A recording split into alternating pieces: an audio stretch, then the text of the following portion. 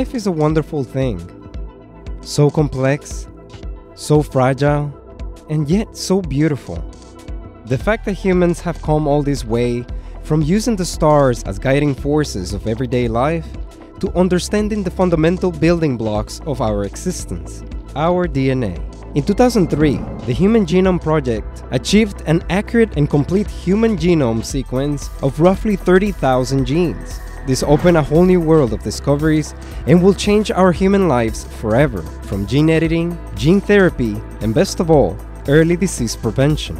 Hi everyone, my name is Michael, and in this video I will talk about ARKG, which is trying to capitalize on the next $9 trillion opportunity. We will touch up on the current three top holdings for ARKG, and in the end I will give you guys my personal opinion regarding these companies on their own. I do want to begin by saying that this is not financial advice. This video was put together for illustration purposes and to help you guys learn a little bit about ARKG and the companies behind it and hopefully it can give you guys a little bit of a rough idea to help spark a little bit of inspiration so that you guys can continue doing your research and finding out if ARKG or any of these companies are a great fit for you as an investor. If this is your first time in this channel and you like the format of the video, consider subscribing to Electric Invest and don't forget to hit the notification bell so you don't miss the next video. And without further ado, let's begin.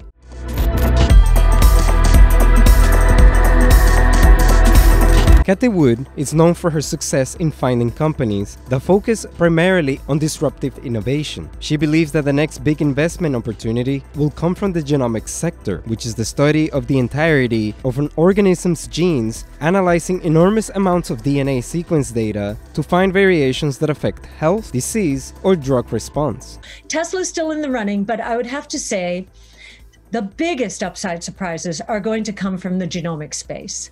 Uh, and that's because the convergence of DNA sequencing, uh, artificial intelligence, and gene therapies, importantly, CRISPR gene editing, are going to uh, cure disease. That convergence is going to cure disease. Now we have real science and technology surfacing the mutations in our genomic profile and um, and uh, as they surface those mutations, what do we see? We see the earliest manifestations of disease.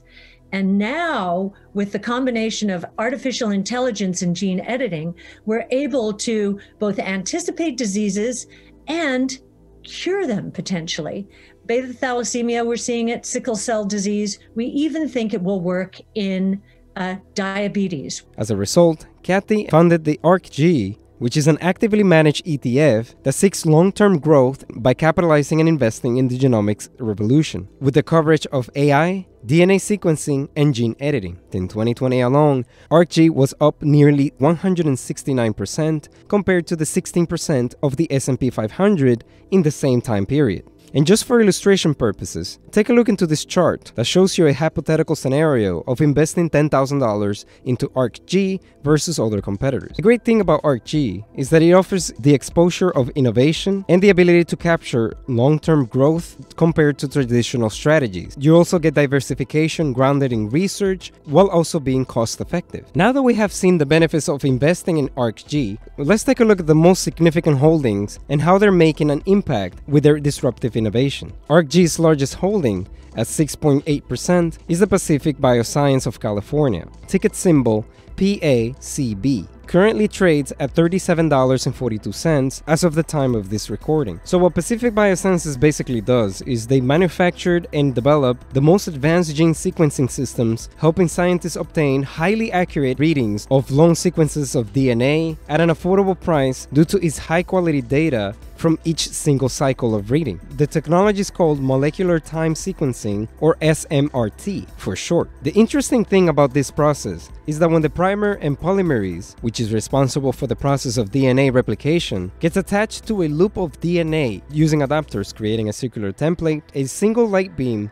is then used to scan the connection to read the letters of the sequence. And just for a quick review, DNA consists of a double helix structure with four nuclear bases identified by four letters. The letter A for adenine, C for cytosine, G for guanine, and T for thymine. Now, using this beam of light, the Pacific Biosciences can identify each of these letters attached to the DNA structure in real time, essentially getting an extremely highly accurate reading of long and both short sequences of this DNA. This gives them the ability to identify each gene accurately as well. When you have this level of accuracy, you gain the ability to add or remove without affecting the rest of the sequence. You can think of it of like finally being able to read a book from a foreign language and being able to make corrections on the book because now you finally understand what each word and each sentences actually mean in relation to the entirety of the context of the book. Anybody can read one word or two, but can you really understand whether or not it makes sense to eliminate that word or eliminate that entire sentence? Well, that's exactly what's happening when it comes to these gene readings. You can't simply just remove one letter blindly. You have to be able to know whether or not it's going to affect the rest of the sequence. And this is where Pacific Biosciences has a leading edge. Not only that, with the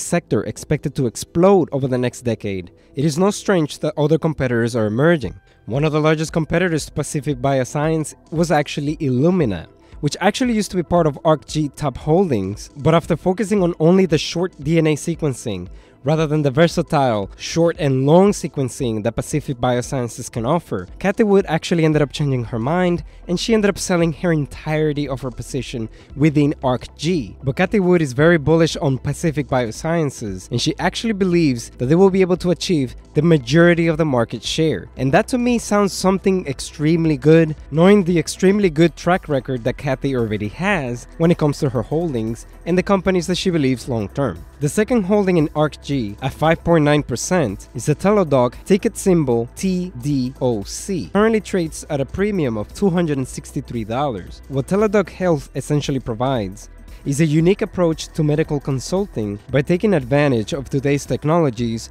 to provide access to doctors in a fast, reliable, and personal way via the internet. Think of it as a way to personally be able to connect with your doctor 24 7, the same way that you may be able to talk to a friend on a Zoom call or through your cell phone. The recent pandemic has accelerated the need for more innovation when it comes to healthcare, and Teladoc's flexibility empowers just that. Furthermore, the consensus estimate for 2021's earnings of 58.1% from the year ago figure. Also, the revenues reflect improvements of over 80 from the previous year's figure. Another great thing about Teladoc is that members can resolve healthcare needs through an on demand or scheduled visits with licensed doctors spanning multiple specialties. And as you guys already know, the future is not with the brick and mortar buildings, it is more with the companies that are able to move with the times and are able to offer flexibility over the internet. Matter of fact, I do want to say a personal story that I had with a similar service in which I actually ended up having a little bit of a medical problem and I was not able to have the ability to see a doctor recently. And I was able to talk to a doctor, and I cannot stress enough how wonderful it was for me to be able to talk to this doctor and be able to tell them exactly what was wrong with me without ever having to worry on whether or not I needed to wait longer times due to the fact that other people were already waiting to be seen.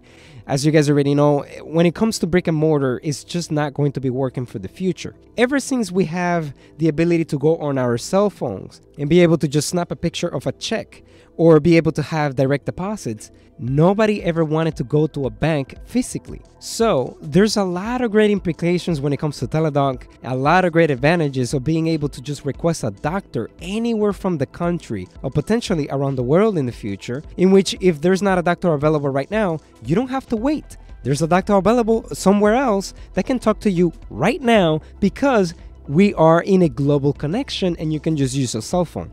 So, personally speaking, I'm definitely very happy about finding about this company because I think it's a great investment. And not only that, I would definitely be a customer. So this is just something that I wanted to share with you guys face to face looking at the camera. And now this leads me to the third largest holding and probably one of the most interesting ones because it actually has a successful human trial and that is CRISPR Therapeutics at a holding size of 5.7% under ARKG. Ticket symbol CRSP currently trades at $188.49 as of the time of this recording. Primarily, the science that makes it possible for this company is called the CRISPR Cas9, and it is the second generation of technologies that seek to repair thousands of inherited genetic diseases and even be able to battle cancer. The great thing about CRISPR is that it has the ability to cut DNA and RNA at a single point, at the same time being able to also insert new DNA or RNA and make a totally new sequence,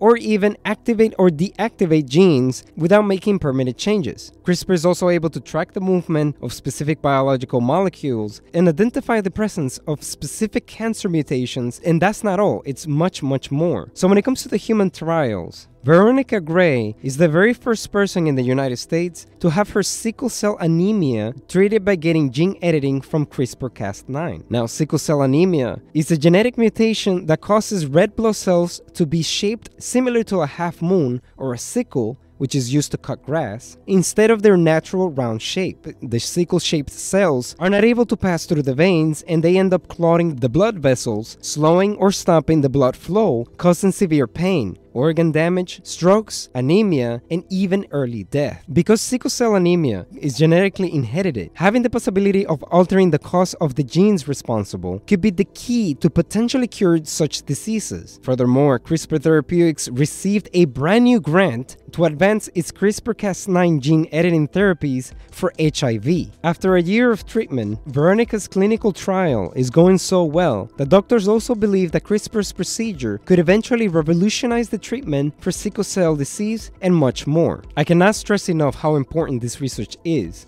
not just for human biomedical research, but also for plants and animals agriculture, and micro-infectious disease prevention. The possibilities are just endless, and this could be one of the most single important breakthroughs in scientific discovery that could change our lives forever. The ability to change edit, and alter DNA at will without affecting the rest of the sequence. And like I already said, all the information and links to my sources are actually down at the bottom of the description if you guys want to learn a little bit more about Veronica Gray and the research being made from her study. Personally speaking, I do tend to have a higher tolerance for risks than most people tend to do. And that's mostly because I am focused on extremely high growth companies such as Tesla. And ever since I learned about the primary Cathie Wood's ARK Innovation Company, you know, ARC K, ever since I learned that they had Tesla at a 10% holding, I actually decided to instead invest in Tesla completely on its own. I also have a tremendously large portion, both in Tesla by itself and also ARKK. And I like to have a little bit of a diversification that way. Now, when it comes to ARC G, I can totally see the benefit and tremendous potential of this ETF. And if you're somebody who's not like me, who doesn't want to necessarily invest in these companies by themselves. Because again they do depend on the trials and whether or not the technology does well. The volatility could definitely be a lot worse than when it comes to tesla's volatility because tesla already became a quote-unquote blue chip and it's already added to the s&p 500 so there's a lot of great things that tesla already went through but these companies still have a long way to go.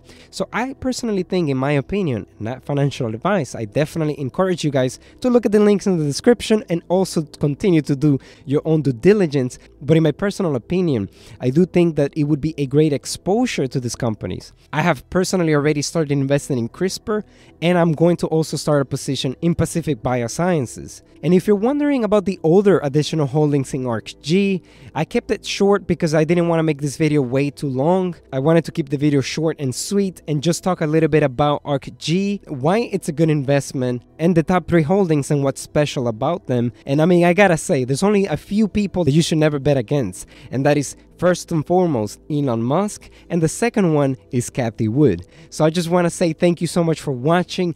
Let me know your opinions about this video. What do you think about these companies? Would you be considering investing in this company separately or just in ARKG to be able to take advantage of both lower volatility but also have the innovation and exposure as an investor? Do you like this type of videos? Let me know if you want me to do a part two in which I go over the other companies, or if you want me to cover some other companies that are recommended by Cathie Wood. If I made a mistake in this video, please feel free to let me know gently in the comment section below. English is not my first language, and I do sometimes make mix and I do sometimes make mistakes. Uh, this video takes a lot longer than what it seems because I end up butchering the word, and I am still trying to improve as a YouTuber in this new sector. If you're new to the channel and you subscribed yet, don't forget to subscribe to Electric Invest and hit the notification bell so you don't miss the next video. Make sure to hit me up on Twitter at electric underscore invest. I love you guys, and I'll see you guys next time.